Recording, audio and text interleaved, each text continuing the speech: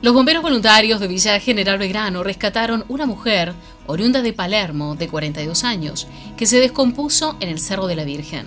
Según informaron a través de un parte de prensa, recibieron un llamado telefónico al cuartel a las 15.48, informando de esta situación. A las 16 horas, una unidad liviana a cargo de Matías Arias, con cinco bomberos más, asistieron al lugar. La turista se encontraba en el pie del cerro. Hasta allí había sido acompañada por otros visitantes. Procedieron a hidratarla y tomar signos vitales que estaban dentro de los parámetros normales. El caso actualizó la necesidad de colocar cartelería indicativa.